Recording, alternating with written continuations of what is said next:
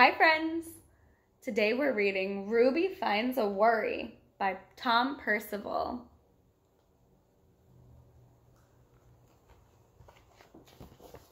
Ruby loved being Ruby. She loved to swing up high.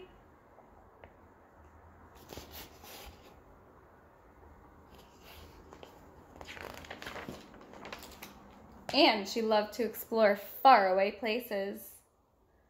Sometimes she even went all the way to the very bottom of the garden.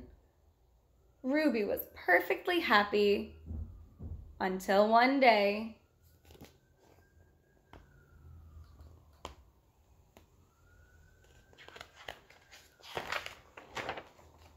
She discovered a worry. It wasn't a very big worry.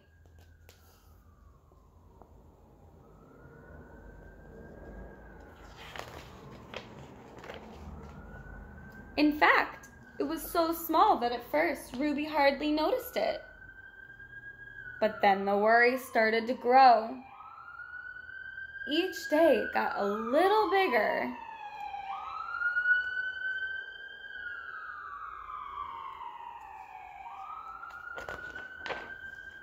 It just wouldn't leave her alone. It was there at breakfast, staring at her over the cereal box and it was still there at night when she brushed her teeth.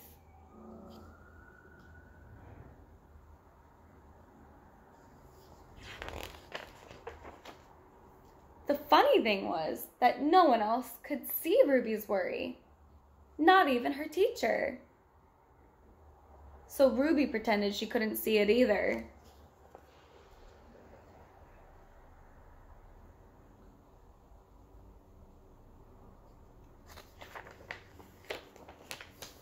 She tried to carry on as if everything was normal, but it just wasn't. The worry was always there, stopping her from doing the things that she loved.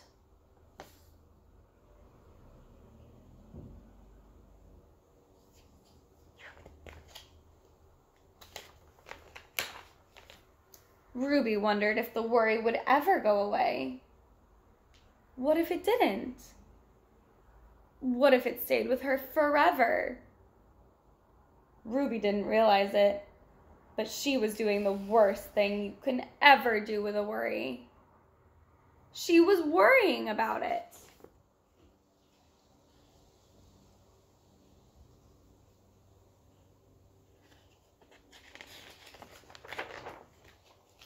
Now the worry was enormous.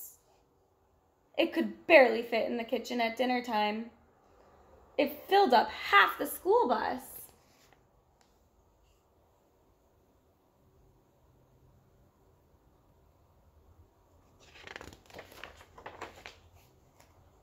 And it took up whole rows at the movie theater.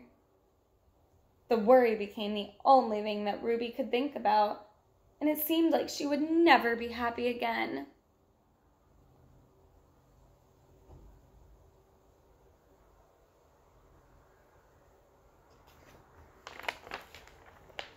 Then one day, something unexpected happened.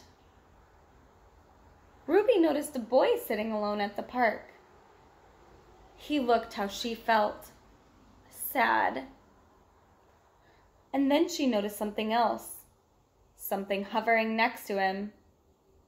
Could it be a worry?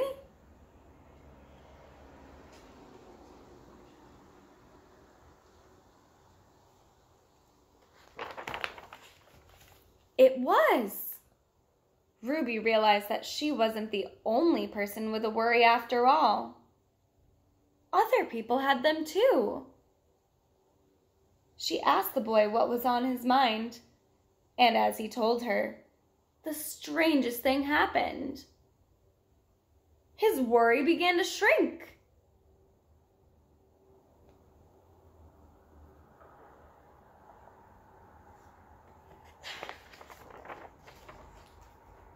Then Ruby did the best thing you can ever do if you have a worry. She talked about it. As the words tumbled out, Ruby's worry began to shrink until it was barely there at all. Soon, both of their worries were gone.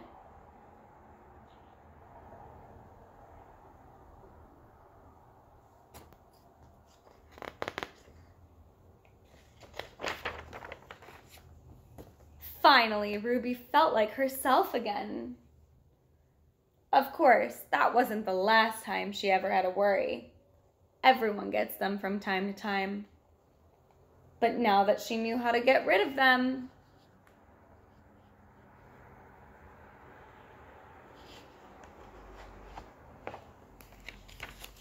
they never hung around for long. The end.